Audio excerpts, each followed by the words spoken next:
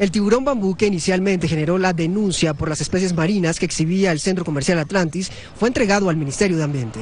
El organismo no fue entregado por la Secretaría de Ambiente, fue entregado por un grupo de ambientalistas al que le entregaron al tiburón y ellos se acercaron de manera voluntaria al ministerio e hicieron la entrega del tiburón. Él venía, eh, digamos, eh, protegido y guardado en los medios adecuados para un transporte y una, eh, una tenencia, digamos, temporal la especie marina bebé, que mide aproximadamente entre 18 y 20 centímetros, se encuentra en perfectas condiciones en el Parque Explora de Medellín. Se encuentra en las condiciones en este momento de aclimatación, como lo llaman ellos, para que él se, eh, digamos que pueda reaccionar bien a un acuario diferente del que venía.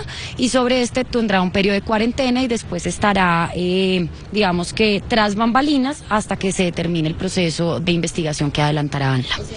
Al parecer el tiburón nació en cautiverio, es decir, por medio de un huevo que pudo haber sido comprado. Fue importado el huevo, el huevo fue el que se incluyó en ese acuario en Atlantis y el tiburoncito nació a finales del año pasado.